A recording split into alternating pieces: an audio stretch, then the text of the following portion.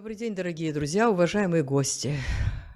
Мы традиционно вновь собрались в субботу, в священный шаббат в Одесском доме музея имени Николая Константиновича Рериха.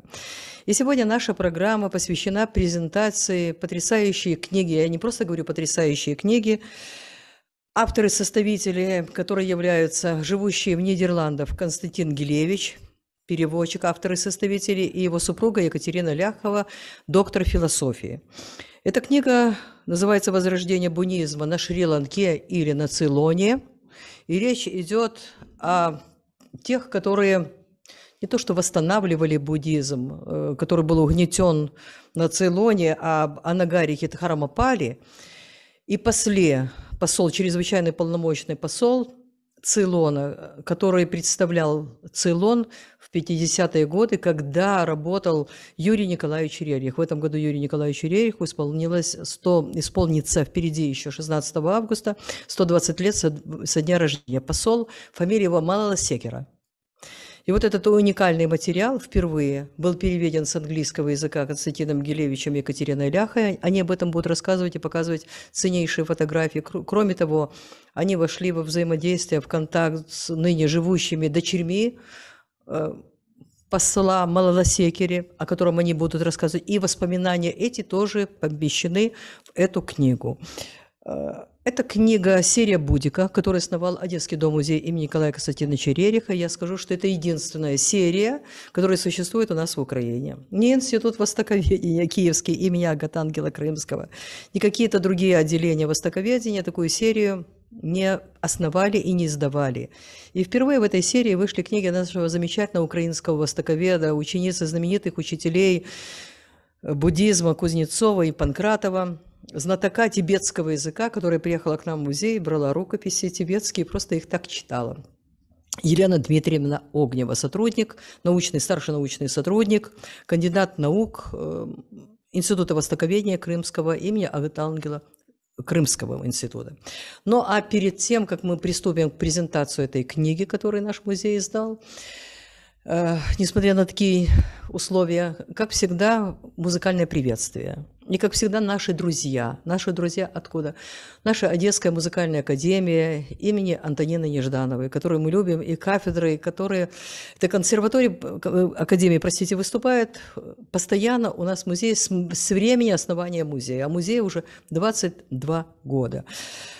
Сегодня представители кафедры сольного пения, которую руководит Елена Стаховская, а Павел Купин – кафедра инструментального э, струнных инструментов, простите, представит нашу школу, студенты выступят, а представит э, и аккомпаниаторов, преподаватели Одесской музыкальной академии имени Неждановой. Вот, несмотря на то, что идет дистанционное обучение, все-таки есть и такие живые программы, которые проходят в нашем музее. Мы очень благодарны нашей Одесской музыкальной академии. Мы желаем продвижения студентам, мы желаем всем мира, добра, хорошего завершения учебы и представлять музыкальную традицию Одессы и в нашей стране, и за рубежом, как высокую, ну, скажем, марку высокой квалификации той традиции, которая была и на кафедре сольного пения, которую возглавляла Галина Анатольевна, которая буквально недавно ушла, и скрипичную школу, пианистическую школу. Пожалуйста. Поет студентка Одесской музыкальной академии имени Неждановой Вансович Александра, класс доцента Горелик Ларисы Маратовны, Римский Корсаков, песня Зулейки, партия фортепиано Инна Суббота. На білу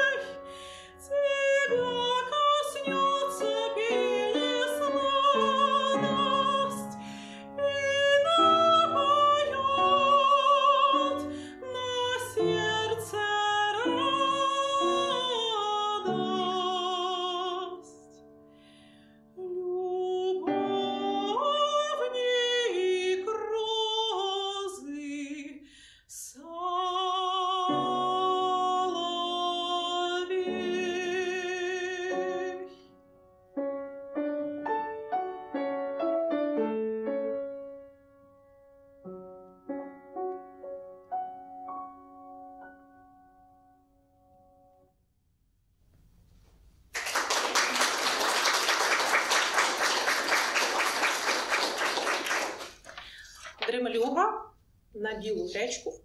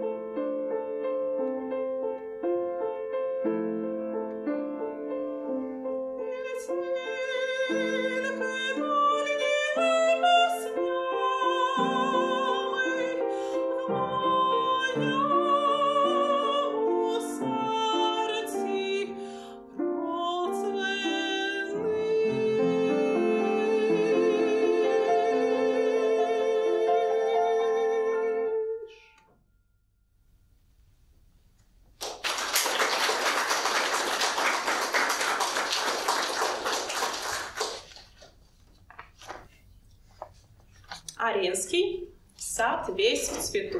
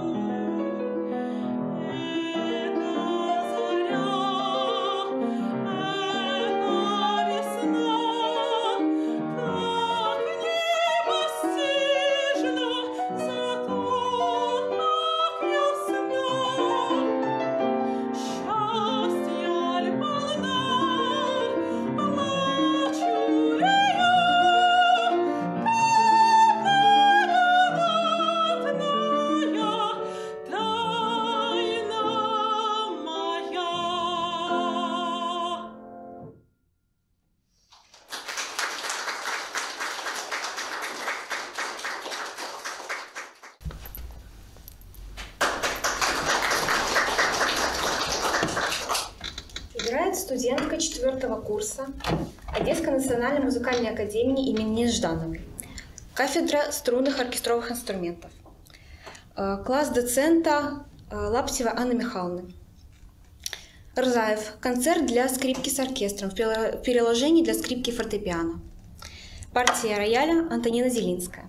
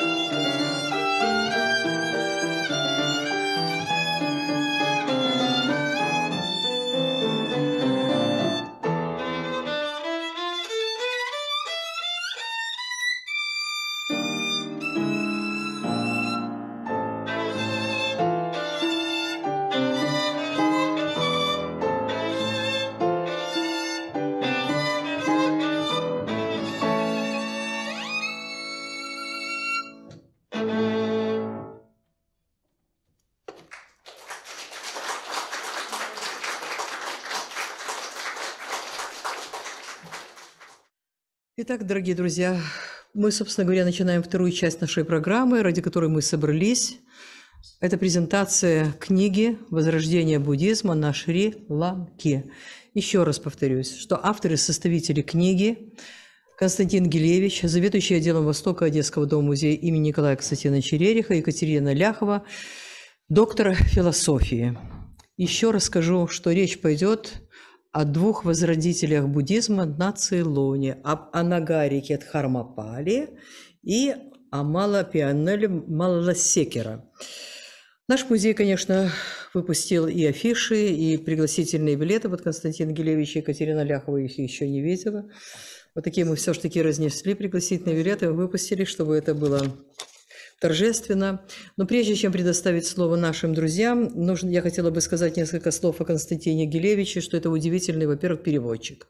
Я бы сказала, скажу еще раз, талантливый переводчик. Это не первый перевод, а переводил сложнейшую книгу воспоминаний графини Констанс Вахтмейстер о Елене Петровне Блаватской в ту пору, когда написала свой труд «Венец», тайную доктрину, которая была издана в 1888 году. И вот перевод книги, которая выходила в свое время в Англии в 1893 году и 1976 годах на английском языке, один из вариантов 893 года, 1893 Константин перевел. Константин переводил и письма Николая Константиновича Рериха, который приобрел наш музей. Мы, мы имеем самый большой корпус писем Николая Константиновича Рериха, подлинники, к американскому художнику Джозефу Эрлу Шраку, который возглавлял Академию творческих искусств Музея Николая Константиновича Рериха в Нью-Йорке. И вот эти 23 письма э, переводил, не только просто перевел, а талантливо перевел. И когда ты читаешь на русском языке, ну буквально ты слышишь голос Николая Константиновича. Это перевел потрясающий труд Рабиндраната Тагора, э, сборник его стихов э, под названием «Перекресток». Это, эти стихи Рабиндранат Тагор писал не на своем родном языке бенгали, а он писал их на английском языке. И вот с английского языка Константин Гелевич перевел этот сборник. Ну и много других переводов он делает, и аннотации, и мы издаем серию каталогов альбомов, каталогов тех выставок, которые проходят у нас, и обязательно аннотация идет на английском языке. Вот сейчас выйдет у нас была выставка «Гимсимонский сад», Это, это переводы Константина Гилевича. Я еще ряд переводов не сказала, но я сказала вот такие основные, главные большие переводы. А сегодня книга. Пожалуйста, Константин. Пожалуйста, Екатерина. Уважаемые дамы и господа, дорогие друзья, э, добрый день. Мы а, очень рады, э, э, очень рады, что наша книжка наконец-то увидела свет. Э, Прежде всего, хотелось бы обратиться со словами благодарности Елене Григорьевне Петренко, сотрудникам музея Максиму Моисеенко и всем тем, кто принял участие в издании этой книги. Мы, э, э, Елена Григорьевна смогла очень быстро организовать передачу этой книги сюда, в Нидерланды, и мы получили, имели возможность держать ее в руках. Нужно сказать, что книга получилась изумительно прекрасные, совершенно замечательные фотографии, а они уникальные. Мы об этом э, чуть попозже расскажем.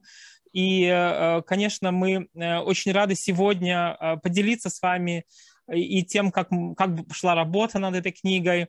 Ну и, конечно, рассказать о тех, э, э, кому эта книга посвящена. Книга состоит из двух частей. Первая часть посвящена Анагарике Дхармапали, а вторая часть посвящена Гунапали Пиасени Малаласекере. Работу над первой книгой вела Екатерина Станиславовна Ляхова, и я, собственно, мы с этого начнем. Я э, с радостью передаю ей слово. Пожалуйста, Екатерина Станиславовна. Добрый день, дорогие друзья.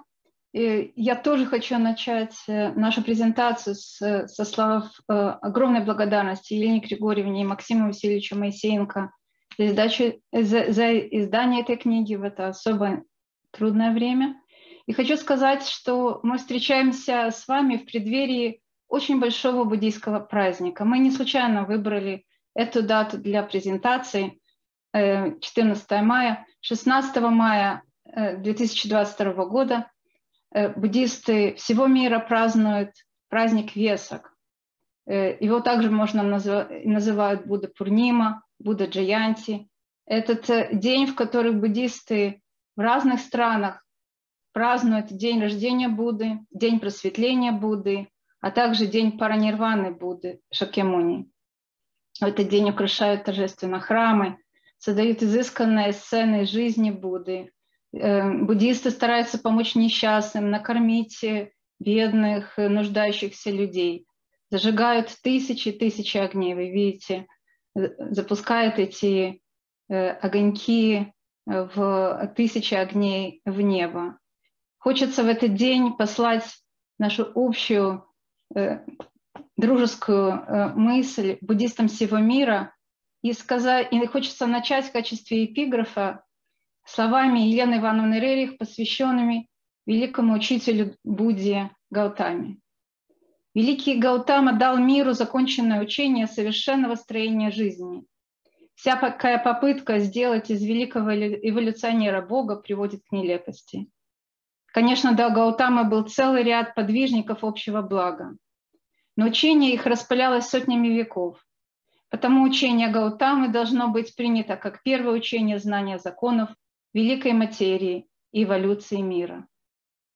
Закон бесстрашия, закон отказа от собственности, закон ценности труда, закон достоинства человеческой личности, вне классов, внешних отличий, закон реального знания, закон любви на основе самосознания делает заветы учителей непрерывной радугой радости человечества. Наша книга, посвященная возрождению буддизма на Шри-Ланке, рождалась очень долго. Можно сказать, даже сложно. Но для нас обоих она подарила неожиданную, совершенно неожиданную для нас любовь к удивительной стране Шри-Ланки, о которой мы знали достаточно, до стыдного мало, и которую мы сейчас очень полюбили. Это удивительная страна. Переводе Шри-Ланка означает «благословенный остров» или «благословенная земля», «святой остров». Это страна с совершенно благословенным климатом, удивительное сокровище, культурные, исторические сокровища. И очень э, трагично то, что сейчас эта страна переживает очень трудные времена. В этой стране голод, настоящий голод. В этой стране, в которой можно снимать э, не один урожай в год. И, к сожалению, это показывает, что люди своими действиями могут привести к упадку даже самый благословенный край. Опять же, этой книгой нашей беседы сегодня хочется послать свои мысли Шри-Ланке и надежда на то, что тяжкое время скоро пройдет. Земные недра этого острова хранят уникальные драгоценные камни. Добываются до 80 разных разновидностей их. Этот, этот остров был известен с давних времен и упоминается в сказках, таких как сказки о Симбаде мореходе и тысячи, сказках «Тысячи одной ночи». Его называют э, Ратна-Дипа или остров драгоценных камней или Серендип – неожиданная удача. Марко Поло рассказывает о рубине, принадлежащем царю Шри-Ланки величиной с ладонь. И существует э, предание, что царь Соломон подарил царице Савское украшение, сделанное из драгоценных камней Шри-Ланки. Здесь добиваются и рубины, и берилы, и гранаты, э, множество прекрасных драгоценных камней. Что мы знаем о Шри-Ланке? Конечно, приходит на ум и древнеиндийский эпос Рамаяна. Э, Именно на этом острове заключению царя демонов Раваны томилась прекрасная Сита, супруга царевича Рамы. Именно здесь состоялась великая битва, в которой войско великого Рамы победило армию демонов. И здесь в личном поединке Рама сокрушил Равану. Так, в соответствии с легендой, на святом острове Ланки силы света и добра одержали победу над злом.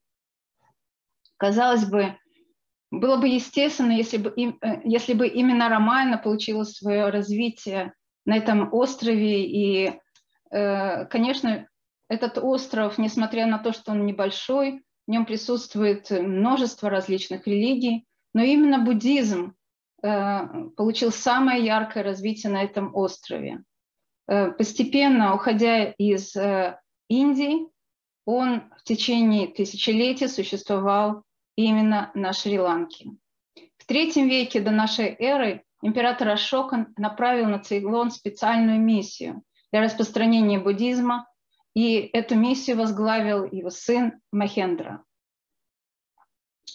В ответ царь Шри-Ланки Тиса принимает э, в честь Ашоки титул, угодный богам, и величает себя Деванампия Тиса. Здесь вы видите старинное изображение, изображающее Э, царя Деванампию Тису, а также тхеру, э, ученый-монах Махинду. Их первая встреча состоялась на этой горе, гора Мисака, а, современной Михинтале. Э, и это место является сейчас местом паломничества. Вы видите прекрасную статую, прекрасную ступу, которая построена там. Царь Деванампия Тиса воздвиг древний буддийский комплекс, включающий в себя храм в скале Исурумунию, а также статую лежащего э, Гаутамы Будды, пруд и вырезанные в скале барельеф из слонов, сохранившиеся в своем первозданном виде. Если вы видите картину Николая Ксенча Рериха из серии «Ашрам» 1931 года. Семья Рерих э, посещала Цейлон. И вы видите здесь как раз этих барельефов, этих слонов, которые Э, сохранились и до наших дней. Вы видите современную фотографию этого места. И вы видите также э, фотографию, экспедиционную фотографию из архива семьи Рерих. Огромное значение в культуре Шри-Ланки играет буддизм. Вплоть до завоевания острова европейцами в XVII веке буддизм является на Шри-Ланке основной религией. Он неразрывно связан с государственной властью, способствует объединению Шри-Ланки под одной политической властью, во многом определяет культуру, традиции, законы и устройство государств. На Шри-Ланке берет начало старейшая из ныне существующих, одна из старейших из существующих ныне школ буддиз, э, буддизма Тхеравада. Именно шри-ланкийским монахам буддийский мир обязан появлением древнего, древнейшего письменного источника буддийского Типитаки. Монахи традиции Тхеравада впервые записали Типитаку на пальмовых листах около 80 -го года до нашей эры, опасаясь утраты священных текстов. До этого момента тексты Типитаки передавались в устной традиции. В своей книге «Алтай Гималая» Николай Костянович Рерих пишет. Но где же дворцы и пагоды? Странно. Первые лики Будды и Майтреи показались в храме, в храме Келания около Коломбо. Мощные изображения хранятся в сумерках храма. Хинаяна гордится своей утонченностью и чистотой философии перед многообразной маха, Махаяной. Будда и Майтрея скрыли свои лики в потемках храма Келани около Коломбо. Мощные изображения заперты в каких-то гигантских стеклянных шкафах по темным углам. Обновленная большая ступа около храма напоминает о древнем основании этого места. Впрочем, и все Коломбо и Цейлон только напоминают по осколкам о древней Ланке, о Ханумане, Раме, Раване, прочих гигантах. И для буддизма Цейлон – важное место. Хочу показать вам э, несколько изображений, показывающих одни из древнейших культурных памятников э, э, Шри-Ланки. Так называемый золотой культурный треугольник Шри-Ланки, который объединяет Канди, столицу древнего буддийского государства, где находится храм Зуба Будды, одна из больших святынь буддистов и почитаемая святыня буддистов Шри-Ланки. Древнейшая столица Анурадхапура, Полонарува, следующая столица, более поздняя столица э, государства Шри-Ланки, и Михинтали, которое я уже упоминала, место, где впервые прозвучала буддийская проповедь на Шри-Ланке. Шри-Ланка почитается как важное место э, людьми совершенно разных культур. Это уникальный памятник тому подтверждения. На горе сохранился отпечаток ноги, который буддисты почитают как отпечаток ноги Будды. А христиане и мусульмане считают, что это след ноги Адама. И именно сюда Адам и Ева были низвергнуты э, из рая, и остался след ноги Адама. Отсюда европейское название горы Адамов пик или местное название Шрипада, священный след. Также на Шри-Ланке находится большая святыня для буддистов Джая Шри Махабудхи. Дерево, выращенное из семени дерева Будды, под которое, дерева Бодхи, под которым Будда получил озарение. Это дерево находится в Анарадхапуре, древней столице Шри-Ланки. Отросток дерева привезен в, из Индии дочерью императора Ашоки Сангхамитты и посажен в 2888, 288 э, году до нашей эры. Таким образом, это одно из старейших деревьев на Земле. Нужно сказать, что дерево Бодхи, которое ныне растет на месте просветления Будды в Индии, Бодхгая, в свою очередь было выращено из отростка, взятого от этого дерева Джая Шри Махабодхи.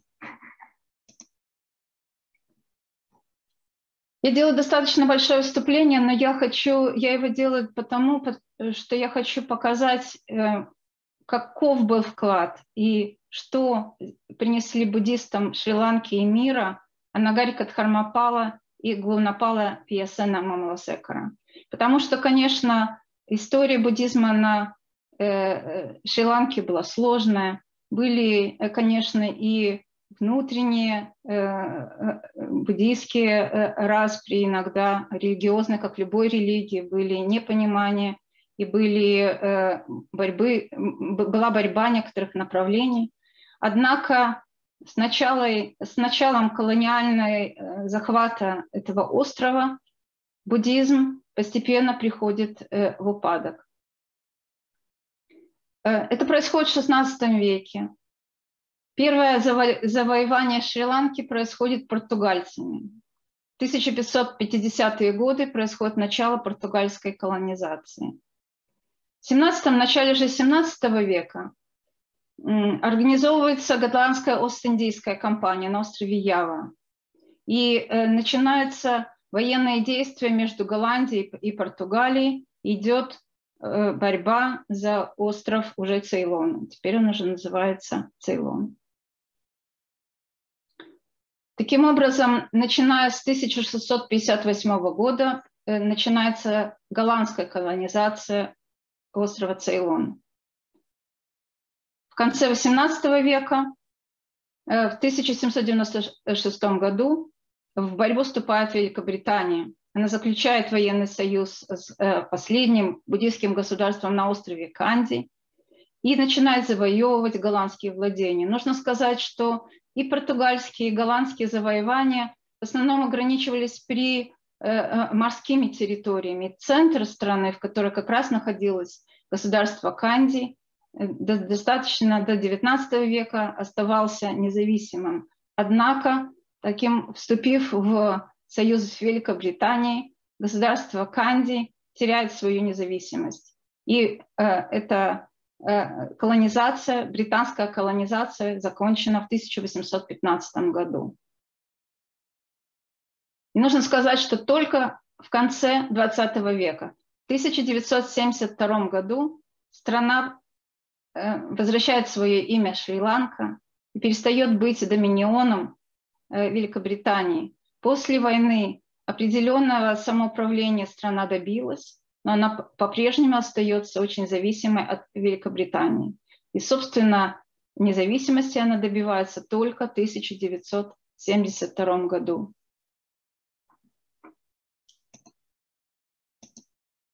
Каким образом э, происходит это завоевание? Каждый завоеватель приносит свою религию. Португальцы приносят э, католи- э, католицизм, голландцы начинают сражаться и с католиками, и с буддистами. Потом приходит английское завоевание. И здесь, чтобы, чтобы проиллюстрировать ситуацию с, с, с распространением буддизма на острове, я хочу привести слова Анагарики Дхармапала, которые мы приводим в книге. Ко времени моего рождения в городе Коломбо не было ни одного места, где можно было совершать буддийские богослужения. Дети буддийских родителей, рожденные в Коломбо, должны были быть принесены в церковь, где записывались имена родителей и э, дата рождения. Христианский священник давал ребенку библейское имя. Религия Господа Будды была табу.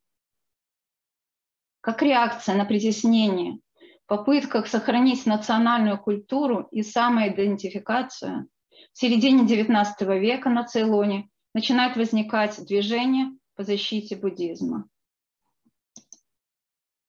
Я сделаю, извините, такое длинное вступление. А теперь э, мы перейдем, собственно, к содержанию книги. Книга, как уже упоминалось, посвящена двум выдающимся деятелям буддийского возрождения – Анагарике Дхармапали и Гунапали Пьясани Мамаласекари. Анагарика Дхармапал – национальный герой Шри-Ланки. Его день рождения является государственным праздником. Можно сказать, что его труды по возрождению буддизма э, вдохновили Гунапала Пьясану Мамаласекру. Именно Мамаласекар осуществил в конце мечту Дхармапалы, создал Всемирное братство буддистов, организацию, которая объединяет буддистов разных стран и разных конфессий. И Мамаласекара перед самым своим уходом успел увидеть свою страну независимой. Безусловно, это был бы самый счастливый день для Анагарики Дхармапалы, который страстно мечтал о независимости и процветании своей страны. Но что нам было очень интересно, нам было очень интересно проследить, как вот эта волна активного, э, активных попыток восстановления буддизма и влияния буддизма э, получила свой толчок от деятельности Елены Петровны Блаватской и Теософского общества. Именно этому в большой степени посвящена статья, которая предваряет часть, посвященная Анагарике Дхармапале. Мы э, построили книгу из двух относительно равных частей, практически равных частей. Первый, в хронологическом порядке мы сначала рассказываем о Анагарике Дхармапале, а во второй части говорим о Гунапале Пиесене Мамаласекаре. Мы подумали, э, собственно, эти статьи э, первоначально были опубликованы в журнале Лиги культуры. И Елена Григорьевна Петренко предложила, что мы можем опубликовать эти статьи отдельной брошюрой. Однако мы подумали, имея очень большое количество материалов, уникальных материалов, мы подумали, что нужно расширить и не только эти две статьи опубликовать. Таким образом, явилась э, идея перевести, собственно, впервые на русский язык, перевести тексты статей Анагарики Дхармапалы и Гунапалы Пьясанами Маласекары, посвященные, собственно, буддизму. Мы очень хотели, чтобы э, наши читатели смогли услышать голос самих этих выдающихся людей. Николай Константинович Череев неоднократно обращался к, обра- к обществу Махабодхи, основанному Анагарикой Дхармапалой. И э, явилось естественным добавить эти обращения, статьи, обращенные буддистам и обществу Махабодхи э, в, э, в нашу книгу. Также, нам, как сказала Елена Григорьевна, у нас появилась удивительная возможность, и в большой степени именно им э, мы, мы э, благодарны за то, что такие замечательные материалы были собраны. Константин Викторович сумел найти подход и связаться с представителями семьи Гунапалы Пиесены Мамаласекары. Нужно сказать, что мы столкнулись с тем, когда мы начали заниматься этой темой, мы столкнулись с тем, что на русском языке материалов о обоих этих деятелях практически нет. Вы можете сами убедиться в этом, вы, может быть, найдете в Википедии несколько абзацев, но это, безусловно, недостаточно. Более того, если об Анагарике Дхармапале можно найти материалы на английском языке, достаточно много, мы выписывали книги, мы э, искали книги в разных библиотеках, то о Мамала, э, Гунапале Пиясене Мамаласекере найти материалы было очень сложно. Большинство материалов на сингальском языке. И таким образом контакт, личный контакт с представителями семьи, и вы здесь видите на, на слайде, вы видите внука э, Мамаласекары Руана и его мать, старшую дочь Мамаласекары Читру. И э, Руан помог нам в очень большой степени. Мы очень благодарны Руану за тот, который был вдохновлен интересом к его деду, и он помог найти материалы и связал нас с другими членами семьи. Так из общества Мамаласекара из Шри-Ланки, который возглавляется младшим сыном Мамаласекара Виджаи, Константин Викторович получил уникальное издание, посвященное столетию Мамаласекара. Мы имели также счастье лично беседовать э, с Аномой Мамаласекар. Вы видите здесь э, молодую прекрасную девушку, которая переживает счастливейший день своей жизни, ее свадьбу благословляет, зачитывает буддийское благословение Юрий Николаевич Рерих. И вот эта э, прекрасная девушка еще жива, она живет в Австралии, и мы имели счастье иметь э, с ней э, телефонный разговор и спрашивать ее лично о ее воспоминаниях об отце.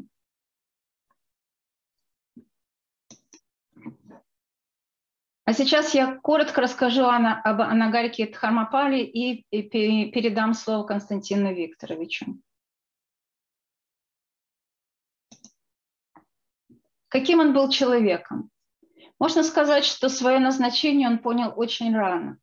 Впервые э, в 14 лет он прочитал свой первый буддийский, э, первый теософский текст. Он происходил из очень буддийской семьи, но, как я надеюсь, я Э, смогла объяснить. Быть буддистом э, на Цейлоне в то время было очень сложно. Эм, в ходе своего образования он вспоминает в своих э, дневниках, он учился в христианских школах различного направ... различных направлениях, католических и э, других христианских школах. Э, им просто запрещали говорить э, и на своем родном языке, и запрещали читать буддийские тексты. Это э, интерес к буддизму не поощрялся, а иногда напрямую запрещался. В 16 лет Анагарика Дхамапала встречает Елену Петровну Блаватскую. И он сумел понять и оценить эту встречу и пойти за ней. Елена Петровна даже взяла перед лицом родителей Дхармапалы ответственность за всю его жизнь. В возрасте 21 года он принят в Теософское общество. И тогда, в 21 год, он принимает решение жить жизнью Анагарики. Анагарика – это не имя, Анагарика – это титул. Он принял, он, конечно, хотел стать буддийским монахом, изучая глубоко буддизм и видя в этом свой путь э, духовного развития. Однако он принимает решение служить в миру, служить буддизму в миру, заниматься не личным спасением, но трудиться на ниве возрождения буддизма в Индии и э, Шри-Ланке. Он умел вести за собой многих людей. Он обладал очень мощной личностью, силой убеждения, умел своим примером, своей энергией увлечь тысячи, тысячи людей. Премьер-министр Цейлона Дадли Синнаяки э, говорит о нем. Нагари Кадхамапала – один из самых великих сыновей Цейлона. Он был великим патриотом и бесстрашным защитником принципов, в которых, в которые он верил. Он проповедовал, разъяснял буддийские принципы в Азии, в Цейлоне, Индии, Бирме, Японии, в Европе, Америке. То есть он предпринимал труды по распространению буддизма на всех трех континентах. Он способствовал переводу, сам написал обширные труды по теории буддизма. Можно э, изучать э, толстые тома его трудов. Два, две небольшие статьи из э, толстого тома его трудов вы найдете в нашей книге. Также он способствовал переводу буддийских текстов на современные языки. Его даже за, за это называли буддийским протестантом. Он пытался сделать буддийские тексты более близкие, более э, понятны простому народу, который не читал на таких э, языках, как Пали. Он способствовал своей деятельности восстановлению роли священных буддийских мест паломничества в Индии. И вы можете понять, э, каждый представитель религии, любой религии, понимает, насколько важны для любой религии места, священные места, которые связаны с Э, жизнью основоположников этих религий. Это можно сказать о христианстве, это можно сказать об иудаизме, это можно сказать о мусульманстве, как глубоко в этих э, религиях почитаются те места, которые связаны с жизнью основателей и учителей этих религий. К сожалению, к концу 19-го, начала 20 века э, священные места для буддистов в Индии находятся в упадке. Э, нет ни храмов, нет э, возможности проводить буддийские богослужения. Какое еще качество я хочу упомянуть э, о Нагарике Дхармапалы? Здесь вы видите его молодым человеком. Его имя европейское, конечно, данные, его имя Дон Давид, Давид Харана. Его качество, которое я хочу упомянуть, это качество благодарности. И он до конца своих дней много раз э, в своих дневниках упоминает тех людей, которые дали очень много его жизни. И эм, в качестве этих людей он называет своих родителей, отца и мать. Он называет э, женщину, которая помогла осуществить ему э, его многие начинания, Мария Робинсон Фостер, которая своей финансовой помощью помогла очень много сделать для возрождения буддийских мест. Благодаря ее помощи финансовой были построены и буддийские школы, и храмы в Индии, и на Шри-Ланке. Были построены и больницы. Она была большим благотворителем. И, безусловно, во всех своих благодарностях Анагарика Дхармапала упоминает Елену Петровну Блаватскую. Он говорит, Путь к совершенствованию мне указала госпожа Блаватская на 21 году жизни. Елена Петровна Блаватская, философ, писательница, оккультист, основательница Теософского общества. Она основала Теософское общество, в которой, идеей которого было объединение людей Вселенского братства человечества. И абсолютно естественно и не э, противоречивым было то, что Анагария Кадхармапала, занимающийся буддизмом, одновременно считал себя теософом. Собственно, совет изучать глубоко буддизм он получил именно от Елены Петровны Блаватской на самой заре своей деятельности. Теософское общество э, э, устав Теософского общества говорит, что религия является личным делом каждого члена Теософского общества, что является требованием, каждый может следовать своей религии, что, ли- что является самым необходимым требованием, это уважение, взаимного уважения к религии всех и каждого. Можно сказать, что Нагарика Дхармапала был теософом и был предан этим принципам до конца своих дней. Роль теософского общества в восстановлении, э, скажем, понимания философии Индии и буддийского восстановления э, Шри-Ланки э, признают и, и, и индусы, и признают на Шри-Ланке. Если вы будете смотреть и изучать вопрос о, буддизме, о развитии буддизма на Шри-Ланке, теософское общество всегда упоминается. Я хочу привести несколько слов доктора Радхат Кришнана, выдающегося философа и э, президента, одного из президента Индии. В то время, когда мы, индийцы, вследствие своих политических провалов, экономических неурядиц, начали сомневаться в ценностях нашей культуры и в ее жизнеспособности, когда все вокруг, в том числе светское образование, казалось, воспитывало в нас пренебрежение к индийской культуре, теософское движение оказало индусам великую услугу, возвращая им их духовные ценности. Влияние теософского движения на индийское общество в целом трудно переоценить. Скажу буквально два слова о том, э, как вот этот контакт с теософским обществом возник у буддистов э, Шри-Ланки.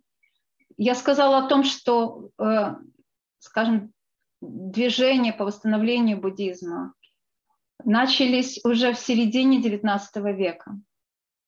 И э, здесь вы видите выдающегося буддийского деятеля, оратора, будди- буддийского священника Мигатуваты Ганананду. Как раз тогда в, э, э, в середине, конце XIX века проходят очные и письменные дебаты между буддийскими и христианскими священниками. И содержание этих э, дебатов э, было записано и переведено на английский язык. Эта книга э, была привезена в Америку. Именно эту книгу видела Елена Петровна Блаватская и полковник Олькот. И они вступили в э, переписку с Мигютаватой Гунанандой. В 1880 году Елена Петровна Блаватская и полковник Генри Олькот впервые посещают Цейлон. На Цейлоне в это время всего две буддийских школы и 805 христианских. К э, началу 20 века усилиями теософского общества на Цейлоне уже свыше 200 буддийских школ. Было основано теософское общество, буддийское отделение теософского общества. Предложен буддийский кате- катехизис, свод понятий, общих для всех буддистов. Над ним работает э, Генри Олькот. Предложен буддийский флаг, которым пользуются сейчас буддисты всего мира. Основано общество по защите буддизма. Кстати, одно из действий, которое предпринимает это общество, это восстановление праздника весок, э, празднование праздника весок, священного для буддистов, в преддверии которого мы сегодня находимся. Нужно сказать, что именно тогда, в 80-м году, Анагарика Дхармапала встречается впервые с Еленой Петровной. Он пытается вступить в теософское общество в 19 лет, ему отказывают за юностью лет, э, принимают его только в 21 год. Он говорит так, в тот момент, когда я коснулся их, Елены Петровны Блаватской и Генри Олькота рук, мое сердце переполнилось э, радостью, стремление к всемирному братству, к полной самоотдаче ради человечества затронуло струны моей душе. В 1994 году э, Анагарика вступает в Теософское общество, я уже об этом сказала. Он становится генеральным секретарем буддийского отделения. Он путешествует с лекциями вместе с э, полковником Олькотом в качестве переводчика. Тогда же он встречается и с другим деятелем Теософского общества Чарльзом Литбитером. И э, нужно сказать, что против деятельности этого э, деятеля в поздние времена, уже после ухода Елены Петровны Блаватской, э, Анагарика Дхармапала выступает очень и очень резко. Начинает издавать э, э, журнал э, «Буддист». И в 21 год он принимает обет отречения, обет Анагарики, и выбирает себе новое имя, под которым мы его знаем, Анагарика Дхармапала. Он путешествует вместе с Алькотом в Японию, и с этого момента его путь, можно сказать, предопределен. Еще хочу привести несколько слов, э, с которыми он обращается и вспоминает у Елены Петровны Блаватской. Елена Петровна Блаватская помогала мне в моих усилиях. До того дня, когда она покинула Адьяр, Елена Петровна Блаватская заботилась обо мне. Она написала мне, чтобы я следовал свету внутри меня. Я точно следовал ее совету, и я счастлив свидетельствовать о присущей ей чудесных силах мистического озарения. Любовь ко всем живым существам, малым и великим, стремление к отрешению чувственных удовольствий, которые препятствуют продвижению в сфере духовности, энергичные усилия в творении достойных дел для улучшения человечества, забвения себя. Все это своего рода было духовной пищей, которую я вкушаю с тех пор, как познакомился с замечательной личностью Елены Петровны Блаватской. Скажу буквально два слова об основании общества Махабудхи, потому что эта часть деятельности Анакарики Дхармапалы была очень и очень важна. Я упомянула, что священные для всех буддистов места в Индии, связанные с рождением Будды, с озарением Будды, первой проповеди Будды и паранирваны, уходу Будды. Эти места не, не были э, не оборудованы для паломничеств, в них не было ни храмов, не было мест, э, не оборудованы были места главных паломничеств. Даже беспрепятственное паломничество к этим местам не было, э, не было обеспечено. И Анагарика Дхармапал говорит, когда я коснулся лбом Ваджрасана, это место, алмазный труд, который был найден на месте Бодхгая, на месте озарения Будды, в моем уме возник внезапный импульс. Это побудило меня остаться здесь и заботиться об этом священном месте, настолько священном, что ничто в этом мире не может сравниться с тем местом, где принц Сакьясинха достиг просветления под деревом Бодхи. И, собственно, в рамках э, работы общества Махабодхи Анагарика Хармапала старается провести свои мысли о единении буддистов. Он издает журнал, в котором сам пишет статьи, но он печатает статьи э, буддистов различных направлений.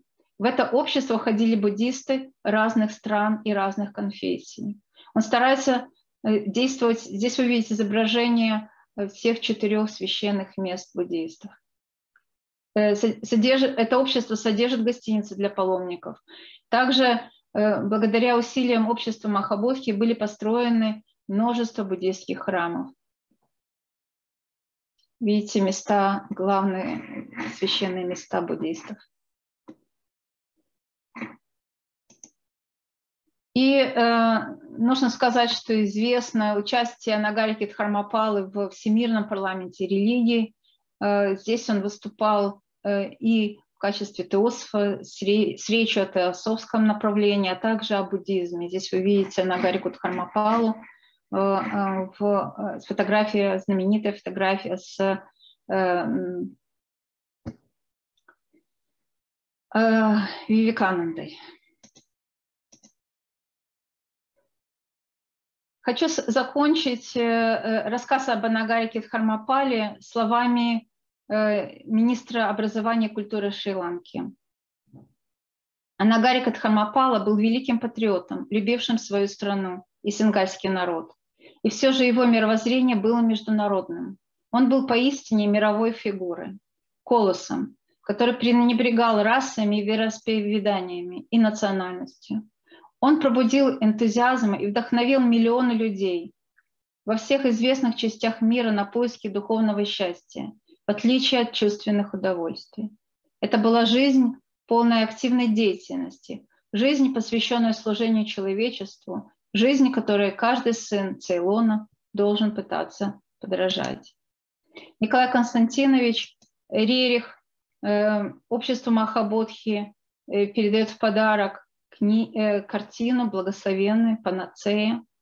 Также Николай Константинович Рерих сотрудничает с изданием обще- общества Махабодхи. Его статьи публикуются в журнале, а также, собственно, издание общества Махабодхи публикует отдельную брошюру, посвященную э, пакту Рериха о защите культурных ценностей.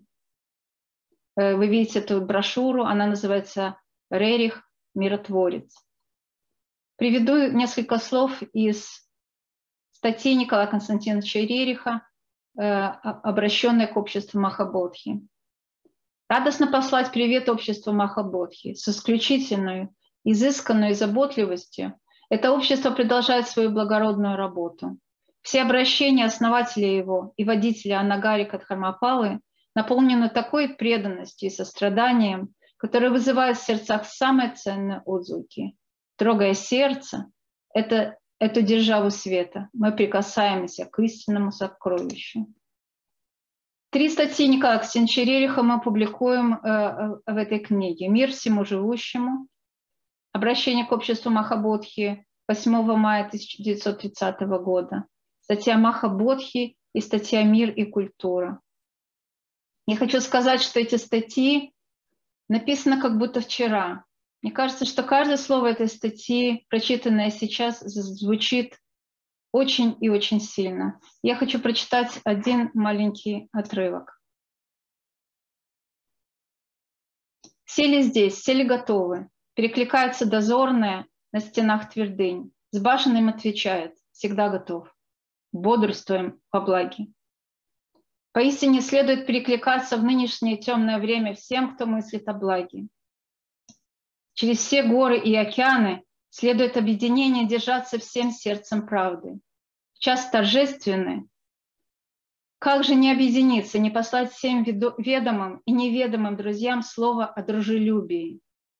Не слабость, не безразличие это дружелюбие. Стремление к правде заложено в нем, связано с ним. Желание лучшего преуспеяния и беспредрассудочного познавания. Может быть, никогда еще мир не нуждался настолько в основе дружелюбия. Мир всему живущему. Но путь к этому миру через то дружелюбие, которым должны быть полны сердца наши. Всегда, во все, во все время дня и ночи, при каждой встрече. Ведь нигде не заповедано во встречном «ищи врага». Наоборот, дружелюбие является тем творящим началом, которое создает обновленную, преображенную жизнь. И заканчивает эту статью, эта статья Махабодхи, заканчивает эту статью Николай Константинович словами из Метасутты. Метасутта посылает свой мудрый зов дружелюбия словами. Как мать, подвергая опасности жизнь свою, блюдет свое дитя единое. Так пусть каждый растит дружелюбную мысль ко всему сущему.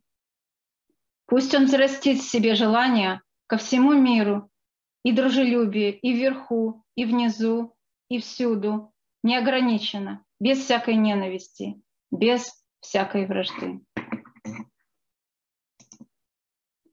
Анагарика Дхармапала почитаем на Цейлоне. Его считают национальным героем. Его день рождения празднуется.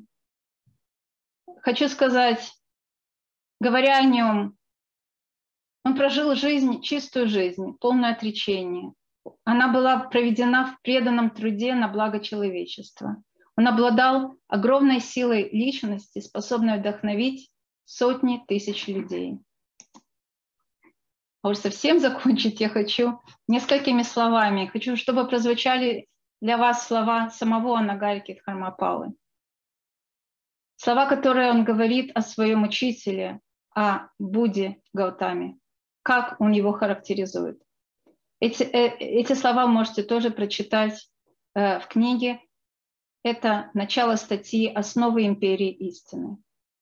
правитель мира, старейший из мировых религиозных учителей, величайший подвижник, преемник предыдущих Буд, Тадхагата, сострадательный владыка, победоносный покоритель своего «Я», первооткрыватель четырех благородных истин, странствующий вождь, освободитель совершенный, учитель богов, ангелов и людей, вездесущий, истинно сердечный друг, великий целитель, царь справедливости. Таковы эпитеты, характеризующие благословенного Будду Гатаму. А сейчас мы перейдем ко второй части, посвященной Гунапале Пьесене Мамаласекаре. Константин Викторович. Спасибо большое, э, Екатерина Станиславовна. Мы поговорим о второй части. Э, можно, пожалуйста, следующий слайд? Э, во второй части нашей книги мы публикуем уникальные материалы, впервые переведенные на русский язык, ну, кроме вступительной статьи о Мамаласекере, буддист, ученый, буддолог и дипломат, публикуются две его статьи о буддизме – а также публикуются эм, уникальные э, воспоминания дочерей. Я об этом скажу чуть позже, а теперь я так же, как и Екатерина Станиславовна, хотел бы сказать несколько слов о самом э, Малосекере, ну, знаете, так пунктирно, чтобы вы тоже, э, чтобы дать вам понять, о ком идет речь вообще, что за фигура, и что это еще один заколос буддийского возрождения Цейлона. Джордж Пирис Малосекера. Именно такое имя дали ему при рождении, поскольку, как вы помните из рассказа Екатерины, э, сингальские имена были не в почете, не в моде, поэтому его имя при рождении было Джордж Пирис Малосекера.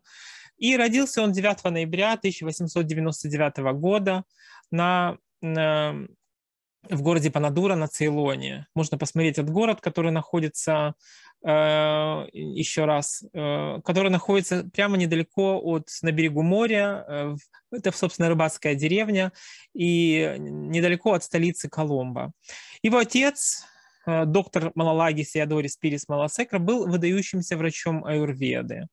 Мальчик уже с раннего детства проявил необычайные способности к обучению. Его начальное и среднее образование прошло в колледже Святого Иоанна в этом городе Панадура. Но также нужно отметить, что образованием ребенка занимался и его отец. И именно под влиянием отца, врача отца, он позже поступит в медицинский институт. Через отца юный Джордж Маласекера как раз и знакомится с Анагарикой Дхармапала. И да, здесь мы, собственно, видим эту преемственность. По некоторым сведениям, когда ему было всего, Маласекере было всего 9 лет, он услышал выступление Дхармапала и сказал, что он хочет быть таким же, как он, и также помогать людям во всем мире.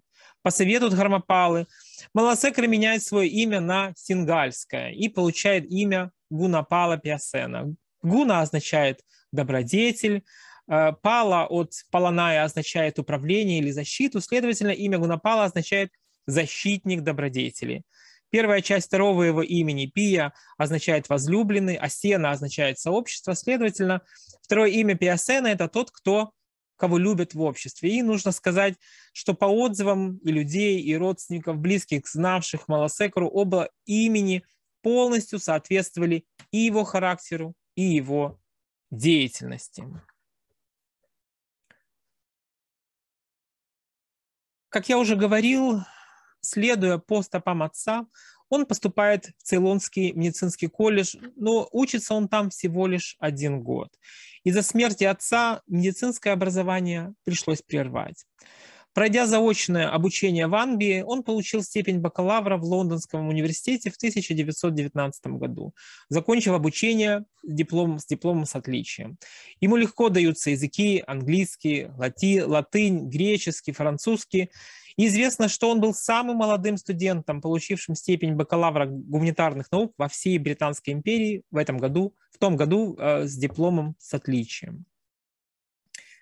Он продолжает образование и в 1923 году поступает в Лондонский университет.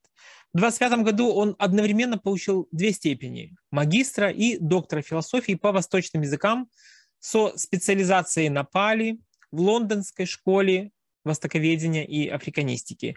Ну и хотя она называется школой, на самом деле это подразделение Лондонского университета, которое является одним из ведущих мировых э, учреждений, специализирующихся на изучении стран Азии и Африки.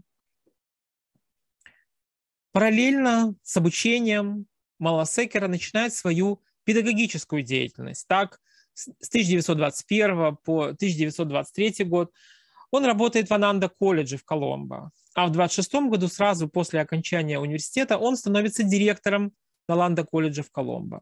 Здесь нужно отметить, что оба указанных колледжа появились на Цейлоне именно благодаря просветительской работе Теософского общества, которое возглавляла Елена Петровна Блаватская. В 1927 году он сменил лектора досточтимого Сурия Года в тогдашнем Колумбийском университетском колледже.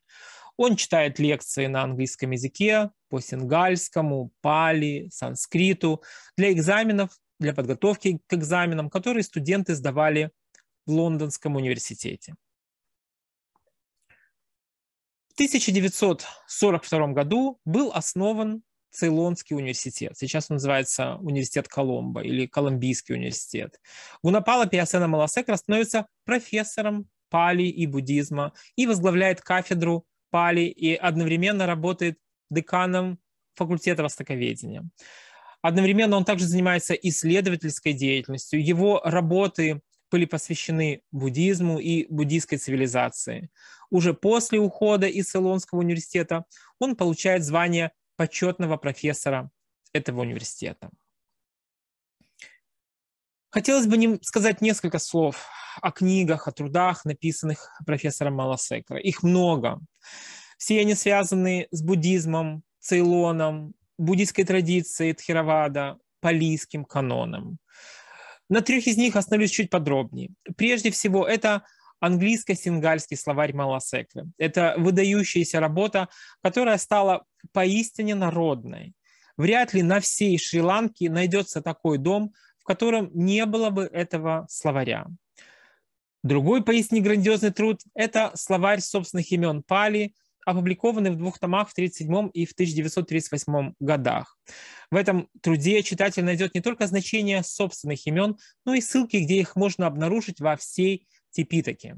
Комментарии различных хроник, также ссылки на наиболее важные тексты, такие, например, как текст «Вопросы Мелинды», э, буддийский трактат, созданный около сотого года до нашей эры, который входит в раздел э, бирманского палийского канона. Здесь нужно отметить, что профессор Маласекер выполнил эту гигантскую работу, словарь собственных имен Пали, который насчитывает э, более двух, двух с половиной тысяч страниц. И вот всю эту гигантскую работу он выполнил в, в то время, когда единственным доступным техническим средством была простая пишущая машинка. И еще одна книга с интереснейшей историей. Во время Второй мировой войны Маласекар выступал по радио Э, серии передач по просьбе лорда Льюиса Маунтенбеттона, британского военно-морского и государственного деятеля, адмирала флота, последнего вице-короля Индии, при котором страна получила независимость. В этих передачах Маласекра на доступном языке рассказывал о буддизме солдатам, базировавшимся на Цейлоне. Эти выступления имели огромный успех и позже легли в книгу под названием «Так я слышал». Здесь нужно отметить, что фраза, которой названа книга «Так я слышал», знакома всем изучающим буддийские тексты. Первоначально учения Будды, известные как сутры, начинаются с фразы «так я однажды слышал». Слово «однажды» иногда присутствует, иногда нет. Сам Будда установил это правило, чтобы отличать свое учение от учений других. И поступая так, он не только обеспечил сохранение своих учений, но и косвенно возвысил их до статуса шрути, то есть услышанных, благодаря которым веды известны в индуизме. Ну, представьте, сколько я уже видов деятельности Маласекри перечислил. Педагогическая, деятельность академическая. Так вот, помимо и педагогической деятельности, он также был еще и крупнейшим буддийским религиозным деятелем. Так, в 1939 году он избирается президентом Цейлонского буддийского конгресса и оставался им до 1957 года, когда он уже работал за рубежом на дипломатической работе. По возвращению на Цейлон в 1967 году он снова был избран президентом Цейлонского буддийского конгресса и действовал в этом качестве уже до своей смерти. Екатерина Станиславовна упоминала уже эм, об этом. Ну, я еще раз э, скажу, что вершиной, на мой взгляд, вершиной деятельности Маласекры была, было основание им всемирного братства буддистов, буддистов, того братства, о котором мечтал и которому стремился Анагарика Дахрамапала. Первый съезд Всемирного братства буддистов прошел на освященных территориях храма Зуба Будды в городе Канди в 1950 году по предложению Цейлонского буддийского конгресса. На открытии присутствовало 129 делегатов из 29 стран. Это было совершенно э, уникальное событие, которое, кстати, очень, очень хорошо задокументировано, и эти документы можно теперь найти, даже э, прочитать, они отсканированы в одной из библиотек, их можно прочитать. 1900 1957 году жизнь Маласекер меняется кардинальным образом. Премьер-министр Шри-Ланки в то время Соломон Бандаранайке назначает его послом в СССР. Одновременно же он был аккредитован в Польше, Румынии и Чехословакии. Позже он становится верховным комиссаром в Канаде. Именно в годы работы послом Маласекера самым тесным образом сотрудничает с Юрием Николаевичем Рерихом. Они были знакомы уже давно. Вероятнее всего, их первое знакомство произошло в 1923 году, когда Юрий Николаевич Рерих со своими родителями, Николаем Константиновичем и Еленой Ивановной, посетили Цейлон по дороге в Индию. Сам Маласекера писал о своей встрече с Рерихом на Цейлоне. Так я процитирую я имел честь быть представленным ему, Николаю Константиновичу, когда он посетил мою страну Цейлон. Жизнь Рериха соткана из многих необычайных элементов, которые с трудом поддаются описанию. Некоторые зовут его пророком, другие мистиком. Быть может, сам он, быть может, сам он предпочел бы быть названным посланцем доброй воли от Запада на Востоке. Где бы он ни ходил по Азии, Тибете, в Ладаке, в Сикиме, в Бутане, Центральной Азии и Монголии, лучшие люди Востока везде встречали его со знаками особого почитания, доверия и любви, редко оказываемой чужестранцам в этих странах. Конец цитаты. Напомню, что Юрий Николаевич Рерих был единственным э, из всей семи рерих, которые вернулись на родину. Он приехал по приглашению э, Хрущева, которым он встретился в Индии в 1955 году. И по приезду Юрий Николаевич в должности профессора сразу же возглавил сектор философии и истории религии Института Востоковедения Академии наук. А чуть позже он получил звание доктора филологических наук без защиты диссертации по совокупности опубликованных им трудов. Началась его бурная академическая деятельность. И одним из самых близких соратников в тот период становится его давний знакомый профессор Гунапала Пиасена Маласекера.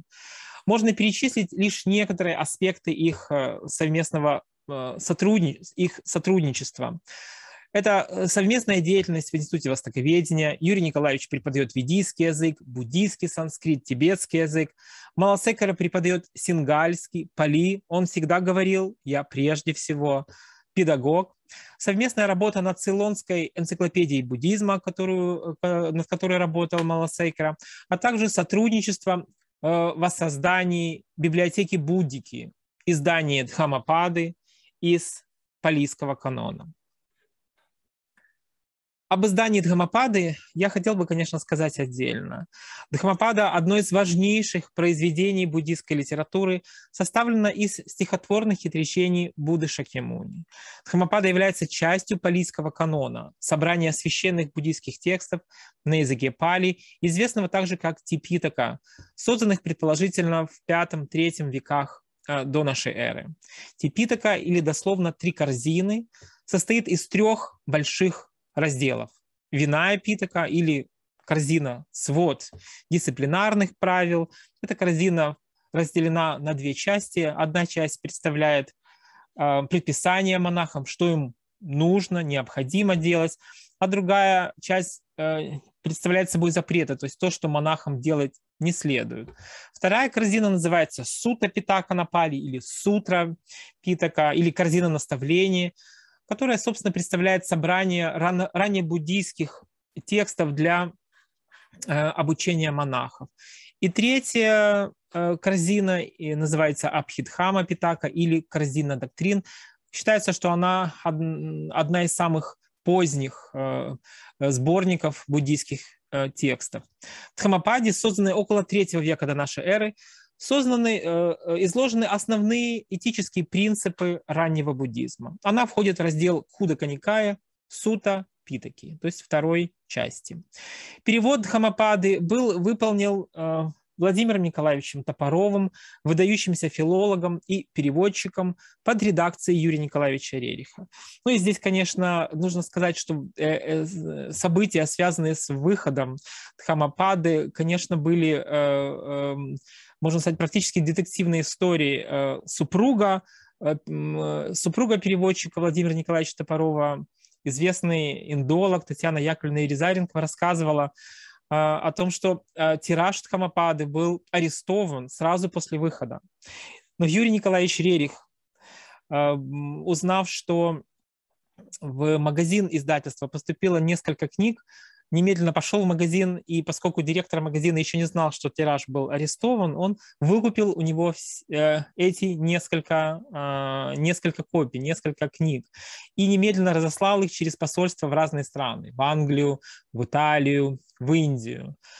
И через какое-то время э, из Индии на стол директора э, Института Востоковедения, в то время Гафурова, легло письмо о том, что легло письмо от правительства Индии о том, что оно поздравляет с выходом такого блестящего перевода от Хамапады и с возобновлением серии Буддика. Ну, Малосекера пошел еще дальше, он собирает большой, большой прием а, в посольстве Цейлона, и на этом приеме, прием в честь выхода книги Дхамапада, и на этом приеме а, самые высокие иностранные делегаты, журналисты, пресса. На следующее утро это все, об этом, об этом приеме написано во всех газетах, тираж э, арест э, с тиража снимается, и таким образом, таким образом эта книга возвращается в, возвращается в продажу. Еще хотел бы сказать несколько слов о э, традиционной буддийской свадьбе, которую э, профессор Маласекера, в то время посол Маласекера, устроил для своей дочки э, Аномы, о которой э, Екатерина Станиславовна уже говорила, в посольстве Цейлона в Москве. В своих воспоминаниях, э, которые мы впервые перевели для нашей книги, Анома Маласекера поделилась своими впечатлениями о том, как была организована и прошла эта свадьба. Вы можете прочитать об этом в книге. Здесь вы видите фото пьедестала с изумительным цветком и балдахином, который был сделан мастерами сцены Большого театра специально для этой свадьбы. Была осень, и Анома переживала, что не будет цветов, но цветов было очень много. А отдельным сюрпризом стал подарок от сотрудника королевских нидерландских авиалиний, который прислал ей самолет, невероятно, самолетом невероятно красивые, свежесрезанные знаменитые голландские розы. На этих фотографиях вы видите непосредственно буддийскую церемонию. Слева совершенно уникальная фотография э, из архива Аномы Маласекеры, которая ранее нигде не публиковалась, и она опубликована в нашей книге. На ней Юрий Николаевич Рерих, который вел буддийскую церемонию, читает перед молодоженами сакральные мантры, тем самым э, благословляя их на духовный союз. На фото справа буддийские ламы также благословляют молодоженов.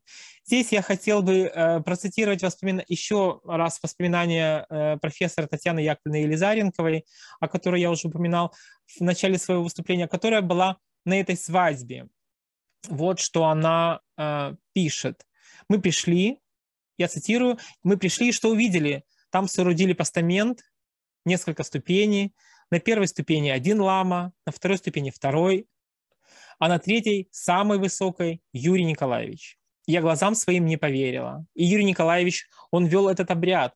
Я смотрела на институтский актив и думала, а они видят? А если они видят, они понимают, что происходит? Я ни с кем этого не обсуждала, но ответ, но ответ на вопрос мне был очень интересен. Посол Цейлона Малала Секера знал, кого он позвал совершать свадебный обряд для своей дочери.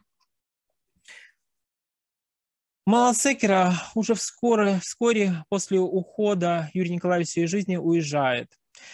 И здесь я хотел бы вот еще одну цитату Татьяны Яковлевны Ерезаренковой привести о том, что говорил ей профессор Малосекера об уходе Юрия Николаевича. Прошло лето, осенью в институт пришел Малосекера. Занятия больше он не возобновлял и скоро уехал. Так как у, него был, э, у меня были с ним очень близкие отношения, дружеские, как ученицы с учителем, э, я ему говорю «здравствуйте», я вышла и говорю «здравствуйте, господин профессор». Он очень тепло меня встретил и говорит «Вы знаете, а Юрий Николаевич так почему-то поторопился уйти, что даже не успел меня предупредить».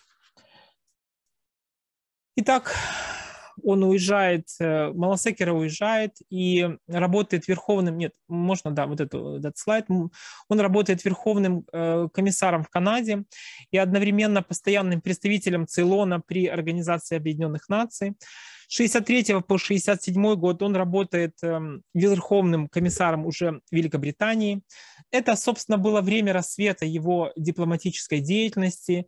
Дипломаты с разных, из разных стран с большой и сердечной теплотой вспоминают о работе с Малосекрой, о его удивительном характере, умении работать с людьми, умении находить выход в самых сложных вопросах международной дипломатии. Кроме того, он всегда был сыном своего народа. И где только можно, он организовывал выставки цейлонского искусства, на которые он привозил э, из Цейлона уникальные произведения, раскрывавшие подлинную красоту культуры этой страны. 1967 году Малосекер возвращается на Цейлон, где работает председателем Национального совета высшего образования. Все его помыслы направлены на создание оптимальных условий для того, чтобы студенты могли получить самое лучшее образование, причем не только научное, но и духовное. Он уходит из жизни 23 апреля 1973 года. Как сказала уже Екатерина, он успел э, достать момент, когда Шри-Ланка в 1972 году получила э, свое, можно следующий слайд, свое, свою независимость. По словам старшей дочери, Читры, его последние слова были следующие. «Храните мужество во времена невзгод и сострадания во времена процветания». Шри-Ланка помнит своего сына, выдающегося деятеля, э, в творчестве которого отразился истинный синтез науки, философии и религии. О нем пишут книги, о нем пишут статьи, книги, активно работает фонд. Ну, Екатерина уже говорила, что фонд Малсекера э, возглавлял Виджая. Мы с ним еще успели переписываться в прошлом году. Ну, вот как раз несколько месяцев назад он ушел из жизни. И ну, вот эта книга, которую вы, вот эта книга в нижнем правом углу, это большое такое большое издание, юбилейное, э, к столетию со дня его рождения. Э, эту книгу как раз э, его сын Виджая Маласекара успел нам передать в подарок. Теперь вернемся к содержанию. Вторая часть книги, как мы говорили, посвящена Маласекере. И открывает эту часть статья Маласекера «Буддист, ученый и буддолог». Далее мы поместили две статьи самого, самого Маласекера, впервые переведенные на русский язык. Это статья «Распространение буддизма», статья, которую мы взяли из упомянутой мною ранее книги «Так я слышал». Эта статья как раз является заключительной главой э, этой книги. И вторая статья, которая нам показалась очень интересной, называется «Перерождение и доктрина отсутствия индивидуальной души». На пали эта доктрина называется «Анната». Эта статья была взята из английского издания Маласекры, который называется «Будда и его учения», выпущенного э, Министерством э, культуры Шри-Ланки в 1957 году. Эта статья тоже впервые переведена на русский язык. Ну и, конечно, особый интерес представляют мемуары двух дочерей, которые также впервые увидели свет на русском языке. Первым идет воспоминание старшей дочери Маласекры, Читры, эти воспоминания были впервые опубликованы в 2017 году в юбилейном томе, посвященном Малосекере. И вторые воспоминания принадлежат Перу э, другой дочери Аномы, именно той дочери, которая сопровождала отца в качестве секретаря, когда он был послом, и которую вместе с женихом благословил во время буддийской свадебной церемонии Юрий Николаевич Рерих. Мы имели большое счастье и радость получить эти воспоминания э, от самой Аномы. Мы с ней говорили, и мы с ней переписывались, мы с ней общались по телефону. И, конечно, это для нас было большим, большим радостным событием, большой радостной находкой. Ну, нужно сказать, что э, воспоминания обеих дочерей написаны с большой любовью, э, с огромным уважением к своему отцу, кроме интереснейших личных воспоминаний, удивительных описаний исторических событий, охватывающих не одно э, десятилетие, мы вместе с читателем можем прикоснуться к огромному культурному и научному пласту жизни страны Шри-Ланки. Конечно, э, воспоминания изобилуют большим количеством сингальских имен, географических названий, философских, буддийских терминов. Поэтому мы дали обширный справочный материал, ну, насколько это было возможно, чтобы, с одной стороны, читателю было легче ориентироваться, а с другой стороны, мы хотели глубже отобразить тот научный, культурный, философский мир, в котором жил и творил профессор Маласекера. Но поскольку это все-таки э, воспоминания дочерей, любимых и любящих, они полны лиризма, теплоты, э, необыкновенной душевности, той, собственно, замечательной атмосферы, которая царила в доме семьи Маласекеры.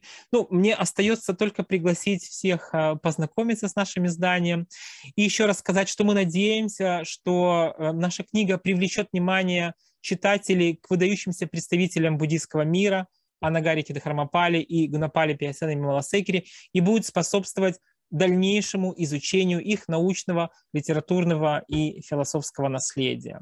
Ну и в заключение мы хотели бы показать те фотографии, еще раз какие-то из них уже были в презентации, ну, показать вам, в общем-то, все фотографии и изображения, которые вошли в книгу. Я передаю слово Екатерине Станиславовне.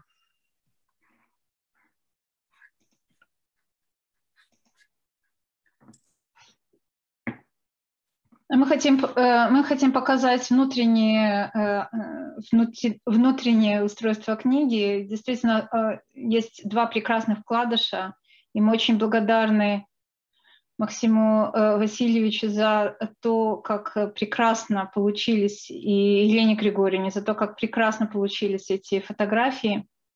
Два вкладыша, один посвящен Нагарики Дхармапали, и второй посвящен э, Мамаласекари. Здесь вы видите родителей э, э, Нагарика Дхармапала, замечательная фотография уже поздних лет э, с его подписью, и э, родителей Дхармапалы, а также изобра- картина, изображающая те самые знаменитые дебаты между буддистами и христианскими священниками э, на, на Цейлоне – этот разворот посвящен э, Елене Петровне Блаватской.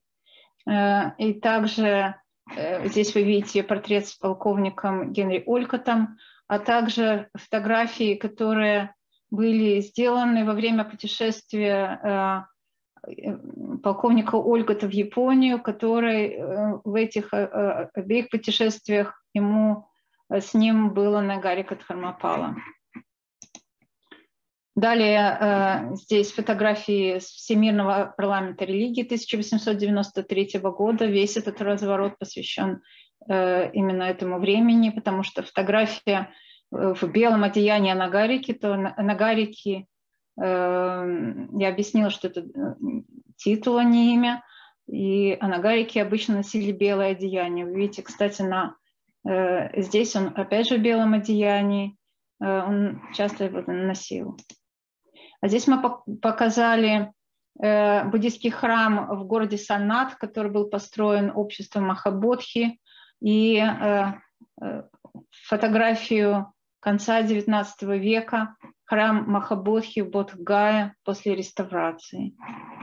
И разворот, посвященный Николаю Константиновичу Рериху, и мы здесь приводим картину «Благословенный панацея», которая была подарена Николаем Константиновичем Рерихом библиотеке Санатского отделения общества Махабодхи. И фотографии последнего, последних лет здесь вы видите одна из э, последних фотографий. Здесь Дхармапала после принятия им полного буддийского обета, он становится буддийским монахом под именем Шридава Митта Дхармапала. И следующий вкладыш посвящен э, э, Гунапали Пьесене Мамаласекари. Здесь вы видите его молодым человеком. Э, редкие, уникальные фотографии.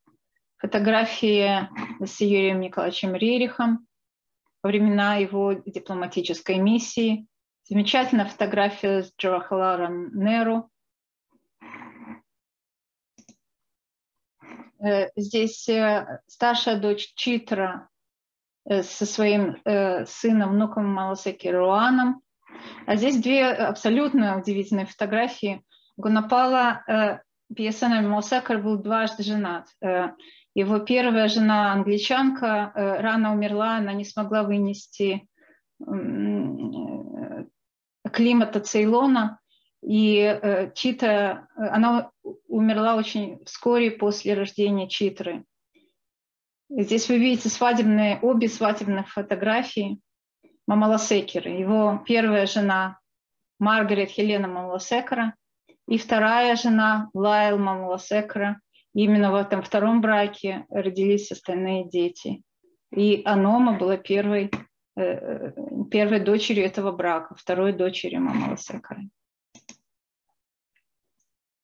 Здесь вы видите Виджая Мамаласекара, младшего сына Мамаласекара, где э, презент- происходит презентация юбилейной книги, о которой говорил э, Константин Викторович. Вы видите здесь некоторые издания. Э, конечно, это не некоторые издания, сам, одни из популярных. И фотографии буддийской свадьбы, как Аномы Мамаласекары и Дадли Виджайратны. Если вы почитаете текст, вы узнаете все изображения и Парува, постамент, который был э, э, сооружен специально в Москве. Момент благословения Константин э, уже показал и моменты официальной церемонии. И закончить хотим вот этой замечательной обложкой и еще раз побл- поблагодарить Елену Григорьевну за это издание. Спасибо большое. Ну, я еще забыл сказать, вот одно буквально слово скажу, что эти прекрасные, изумительные воспоминания дочерей, Аномы и, э, Аномы и Читры, они, как я уже сказал, были впервые переведены на русский язык, и в этом переводе нам помогали наши коллеги, сотрудники музея, Максим э, Моисеенко и Людмила Шундяк. И я отдельно хотел бы их поблагодарить за помощь э, при переводе этих э, мемуаров. Спасибо большое еще раз. Мы готовы передать слово в музей. Добрый день еще раз, дорогие друзья. Что я могу сказать? Я могу поздравить только Константина Викторовича и Екатерину Станиславовну за прекрасную работу. Мы всегда мечтали, чтобы буддизм пришел в наш город Одессу, и в 2008 году у нас состоялась необыкновенная э, выставка в этом зале, в котором вы сидите. Его святейшество Далай-Лама XIV э, основал, кстати, Майтрея, Э, Движение Майтреи и проведение ценностей буддийских. Буддисты, в отличие от христиан, никогда не носят и не любят показывать сокровенное. Они держат его внутри, в сердце. Христиане э, всегда э, предлагают частицы мощей, сами мощи, а они сохраняют. И вот тур Майтрея, который состоялся, был, я вообще была удивлена, потрясена тем, что тур Майтрея э, состоялся, потому что э, условий было много, на которые нужно было сделать и то, и другое, и третье. В общем, я старалась это делать вместе с сотрудниками. И даже кое-что пришлось, скажу вам откровенно говоря, приукрасить, потому что я боялась, чтобы этого тура Майтрея, он может не состояться. И самая большая проблема была большая статуя Майтрея, которая должна была расположиться в этом зале, высота этих потолков. Э, ну, в общем, много, я не буду описывать это, как это происходило, и, но они не могли перевести большую статую, потому что они летели уже самолетом, а не Западной Украины, не из Европы, и они прилетели к нам, это было, они прилетели, мы их расположили в гостинице, и на следующий день вечером для VIP-гостей – и здесь, в этом зале, в котором вы сидите, были соблюдены, нужно было достать столы, и вот эти драгоценности в запаянных колбах находились в Иринхсе. Я стояла здесь и думала, боже мой, Золотой песок Будды Шакьямуни, Кашьяпы, Нагаржуны, Милорепы. Я говорю, у меня волосы становятся дыбом. Эм, дзонкапы. И ты смотришь на это естество, действительно, кристаллы психической энергии, божественной энергии, которые неуничтожимы, это и есть естество этих святых людей. Вот это благодаря Константину Гелевичу и Екатерине Ляховой мы получили, в общем, этот тур Майтрея. Это было два дня, два-три дня, и они исчезли, они улетели дальше. Но один из монахов, который был, он подошел ко мне на следующий день и говорит, я видел сон – Просите, что вы хотите. Я видел, я знал, где бывал Рерих, там бывал, где только его святейшество, это великий духовный человек, но вот после этого сна, что вы хотите? Я, а мне первым делом хотелось чтобы у нас в городе была ступа, э, ну, есть христианские храмы, есть э, католические храмы, есть э, движение Кришны, но хотелось бы ступ. Он рассмеялся и говорит мне о том, что он является заместителем его святейшества Дела Ламы XIV по установке ступ. Какую ступу вы хотите? Восемь видов ступ сострадание. Конечно, я хотела эту ступу сострадания. на картине Николая Константиновича Рериха, когда Будда спускается уже момент Э, просветления, он спускается не в момент, а он спускается с этого места и идет в мир э, к людям, неся свой свет и чашу, наполненные знанием, светом. Он говорит, ступу где? В городе. Землю нужно иметь, э, в музее. А потом он говорит, вы знаете, я знаю, что я сделаю. У меня есть ступа, в которой находятся ценности, и в этом находится, в этой ступе находится естество Будды. Я вам подарю эту ступу в музей и я к вам прилечу. Но я к вам прилечу в декабре месяце, тогда день рождения, как считается второе воплощение Дзон Капы, труды знаменитой Ламрим, которым принадлежит. Вот на, это декабрь, день его рождения, и я прочту серию лекций, посвященной этому труду. И он прилетает в декабре. Он таки, да, прилетает. Он привозит эту ступу, которая у нас установлена в нашем музее, в комнате учителей, и там находится естество ступа которые символизируют строение мира. И в памятных местах э, чертен, ступа, по-разному она называется, и всегда туда вкладывают священные или молитву. Если в... И точно так же, как и скульптурные формы, они запечатаны. Туда вкладывается молитва, посвященная этому святому, запечатывается и освещается. Ее нельзя вскрывать. Вот у нас находятся наши в экспозиции, даже не хочется говорить о малые скульптуры Будды, Будды Майтреи, они запечатаны, и в них находятся соответствующие молитвы или частицы их мы не распечатаем. Вот точно так у нас появилась, в общем-то, эта ступа. Таким образом, э, буддизм помимо того, что он находится в музеях, а благодаря Елене Дмитриевне Огневой, очень много, э, Юрий Николаевич тоже потрудился, Рерих, он в 57-59 году, был в Киевском музее Варвары Богданов-Ханенко, где находится Восточный отдел, и по приглашению заведующего отдела Востока Окрижецкого он описывал, делал опись танхи, икон благодаря Юрию Николаевичу, а вот благодаря Елене Дмитриевне Огневой описание многих экспонатов, потому что приходилось изучать по ходу буддизм, описывать экспонаты, и мы издали по ее предложению такой своеобразный пу- путеводитель по музеям, в которых находятся памятники, памятники буддизма. Это, конечно, богатая коллекция Музея западного восточного искусства. Вот здесь находится коллега э, Лена Галиевна Садыкова, Там находится коллекция. Вторая коллекция в музее Александра Владимировича Блещинова, в муниципальном музее, который он собирал. А наша коллекция к нам попала удивительным путем. Причем есть у нас уникальные ну, не иконы, танки, например, 18 века. У нас есть, подарил один человек, который позвонил мне, он уходил из жизни в 40 с чем-то лет, и он позвонил мне, я слышала ваше выступление по радио, приезжайте, пожалуйста, к мне, я хочу вам передать из Иволгенского монастыря и других э, вот те сокровища, которые хранились у него, он так и передавал мне их, и, в общем-то, я привезла. И, кроме того, еще мы покупали, приобретали, я приобретала, по сегодняшний день мы приобретаем, и у нас есть действительно уникальные, такие уникальные памятники, которые я покупала, например, в магазинах, например, 18 век, а там даже не понимали вообще, что у них находится в антикварной лавке го- города э, Ялта, напри- например. Елена Дмитриевна это все описывала. Таким образом, у нас в городе три точки, и в том числе наш музей, и вот этот путеводитель, Идея какова была? Можно прийти в музей западно-восточного искусства, прийти в музей, муниципальный музей имени Александра Владимировича Блещинова и наш музей, чтобы познакомиться с экспозицией буддизма, где представлены и вот эти чаши с естеством Будды. И когда вот это была непогода, я очень переживала, а Елена Дмитриевна Огнева приехала к нам в город, и она мне говорила, Елена Григорьевна, я говорю ее интонациями, не надо переживать. Все состоится, потому что слоны уже прошли по Дерибасовской, а к нам в это время приехал цирк.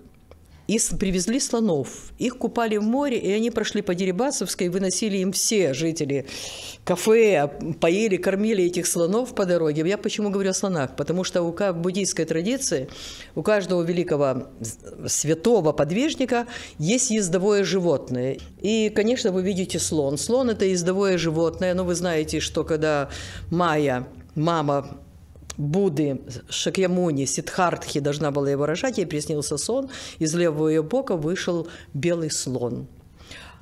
Слон белый – это ездовое животное Будды Майтрея, грядущего пятого Будды, который уже пришел и правит в мир невидимый-видимый.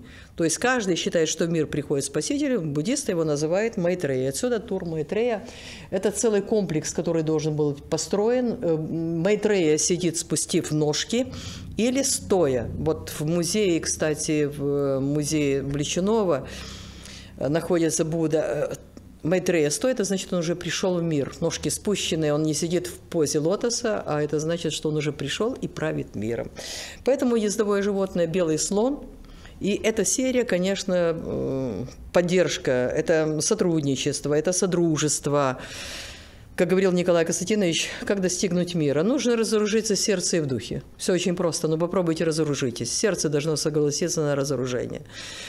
Поэтому в нашем городе, вот благодаря такой миссии, которая состоялась в Майтрея, в которой причастна, я говорю, Константин Гилевич, Екатерина Ляхова, и основана серия. Опять-таки это все замыкается, вот эта книга, это вклад, вклад для обмена, для синтеза, для содружества, религии, для со- содружества учений, которое лежит в основе, а они не отличаются ничем. Каждая религия, будь то христианская, иудейская, индуистская, буддийская, это очень важно. Так что эта книга, выход этой книги, труд, который проделали Константин Гилевич и Екатерина Ляхова, им помогли, вот в переводе он упомянул и Людмилу Шундяк, и Максима Моисеенко. Я считаю, что это очень важный вклад в дело развития буддизма, направления в нашем городе, в нашем э, государстве Украина. Это вклад в культуру, потому что времена плохие проходят, а культура остается. Николай Константинович Рерих понимал культуру как подчитание света и благодати. Цивилизация может проходить, а культура или развиваться, а культура – это очень важная вещь. И Елена Дмитриевна Огнева считала, что через Украину очень много прошло буддиз, буддизм, буддийских миссий. И вот она искала следы под Киевом, А в нашей Одессе побывали очень интересные буддисты, и даже считалось, что одно время знамя буддистов где-то проходило через Одессу. Были утеряны очень многие, ну, революция, смутные годы и так далее, и так далее. Так что выход этой книги, огромное, огромное спасибо Гилевичу, Константину Гилевичу и Екатерине Ляховой. А, и поблагодарить хочу, конечно, издательство «Старпринт», с которым мы сотрудничаем более 25 лет, 30 лет, наверное, сотрудничаем. Мы можем печатать книги на любых условиях, как угодно. Эта книга, конечно, недолгое время типография не работала. Я очень боялась, что эта книга потом не выйдет. Потом ее приходилось вычитывать. Все работают по домам. Не было бумаги, не было аппаратуры. Появилась потом новая аппаратура. И действительно появилось все хорошего качества. И фотографии. Хочу поблагодарить директора издательства Геннадия Александровича Гарбузова, Яну Николаевну Забанову, Забанову, которая неизменно помогает, и Владимира, графика, который помогает для того, чтобы вытянуть многие картинки и придать им тот вид, который придали. Ну и, конечно, вышла книга. Эту книгу, кстати, вышла на, на средства самих авторов. Они оплатили. Так что наша была задача только мотаться между и вычитывать. И вместе с, вычитывается только один раз, если будут ошибки. Вместе с корректором, вместе с техническим редактором. И следить, как она будет прокатываться, выходить и все остальное. Так что э, хочу поздравить наш город, наше государство, в конце концов, мир поздравить. И чтобы эта книга всего лишь 100 экземпляров. Ну что такое 100 экземпляров? Мы передали, правда, 20 экземпляров, мы успели передать. Быстро надо все делать в Нидерланды, и дальше эта книга должна передаваться в страны. Главное, чтобы она была в научном обороте. В музеях этой книги проявляют живой, большой интерес. Вот Елена Дмитриевна уже отправила мы отправили Елене Дмитриевне, она отправила дальше эту книгу, чтобы она была в научном обороте и не застревала только в, застряла в музее. Вот таким образом, ну и, конечно, что я могу сказать, стоимость бешеная стала, поднялись цены на бумагу, на все остальное, логистика, да вот. Но книги выходят, мы печатаем. Так что со слоником шагает слон, ездовое животное, Майтреи Будды. Спасибо, друзья, что вы пришли на презентацию, что вы участвовали. Крайне интересно рассказали об Анагаре Кетхармапале, о Гонапала Пиесена Малаласекере и, конечно, о Юрии Николаевиче, конечно, который был высоким, высокое буддийское лицо, которое совершал обряд, и которому служили ламы. И ступень, это огромную роль играет символическую, на какой ступени стоял Юрий Николаевич Рерих вместе с молодоженами и остальные ламы. Он вел эту службу. И действительно, Юрий Николаевич сделал очень многое для того, чтобы, во-первых, вернуть, ну, тогда в Советский Союз, восстановить школу востоковедения, которая была разгромлена. Труд был проделан колоссальный для того, чтобы вышла, вышла в общем-то, книга. Для чего? Для того, чтобы восстановить эту библиотеку, в общем-то, Будику. И сам Юрий Николаевич ушел, в общем-то, при странных обстоятельствах, и у нас находится работы Смирнова-Русецкого Бориса Алексеевича, который знал всех членов семьи Рерихов с 26 года. Он был знаком с Юрием Николаевичем, открыл дверь, когда он пришел знакомиться с Рерихами, которые прибыли после Центральной Гималайской экспедиции или во время заезда в Москву. Он знал всех Елену Ивановну Николая Константиновича. И встретился с ним, когда он вышел после 10 лет тюрьмы, ГУЛАГа, 5 лет ссылки. Он встретился с Юрием Николаевичем, который вернулся на родину в 1957 году. Два с половиной года, в 60 году, вот 30 мая он ушел, в общем-то, из жизни. Борис Алексеевич был Смирнов-Русецкий свидетелем вот таких вещей. Но он вернул буддизм, он восстановил, он преподавал, он давал языки устраивал конференции, и он вырастил школу, могучую школу будологов, среди которых вот Константин Викторович упоминал Елизаренкову. Это благодаря Юрию Николаевичу. Но и у нас в Украине атрибуция. И когда возвращался Юрий Николаевич, он ехал возвращался тогда в СССР через Одессу. И груз проходил через Одессу, где был благополучно задержан даже на какое-то время. Но как же иначе? Так что это весомый вклад в дружбу народов, солидарность, если вы хотите, забытое слово, понимание, проникновение, понимая учение другого, другой нации, народности, если вы хотите, мы будем лучше понимать друг друга. В этом году Юрию Николаевичу Рериху исполняется 120 лет со дня рождения. Так что эта книга вышла и как раз к этому еще знаменательного события. Итак, друзья, спасибо за внимание. На этом презентация закончена. Спасибо Константину Гилевичу, спасибо Екатерине Ляховой. Всего доброго. До новых встреч.